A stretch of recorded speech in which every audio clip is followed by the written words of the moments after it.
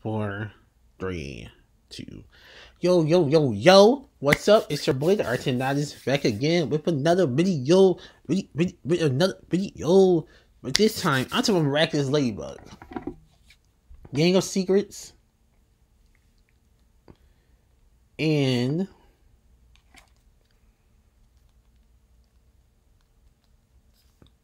Pigeons, Mr. Pigeon 72.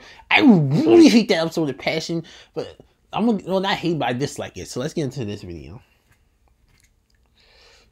They get to see a movie and she wants to keep oh sorry. Cat Noir get to see a movie with um what's it how did I forget her name? Um Ladybug. And she wants to keep her secrets. Her friends think she is holding stuff back since she never said anything. Luka told Juleka that they broke up most who told Rose, who told Mylène, who told Alix. Actually, I'm a huge fan of Alix. Shout out to her and Alya. Who told Alya? Her being a superhero is making it hard being in love. She tells them maybe they don't want it. She doesn't want to be friends. So Juleka, Mylène, Alix, Rose, and Alya becomes their old um akumatized um people. I don't know his characters. I don't know. Whatever. Lady, sorry, Lady Wi-Fi Princess Fragrance. Timebreaker Reflekta in horrific. This isn't just because an illusion makes an illusion. Alya breaks the hold.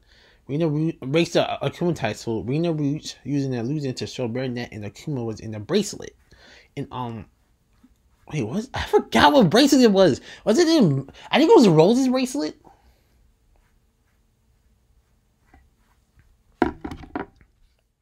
in actually Alix's bracelet. I actually looked back in the episode, which I feel dumb for them saying it. That was a good episode. And then she actually told Alya her secret identity, which I kind of got mad because it was three seasons. I really feel like Alya should have put two and two together. I know it was due to plot, but I was like, come on, Alya, put two and two together. Mr. Pigeon 72 gets akumatized, got akumatized 71 times. And she wants to make a new potion. She thinks they are perfect for each other. I mean, Adrien Kagami, of course. Raina gets her buns filled with fruit to Uncle Kagami's mom. She wants them to get back together. Jagged Stone's former manager. I literally don't remember this man's name. I just know he was a former manager. Was being crazy to a pigeon man.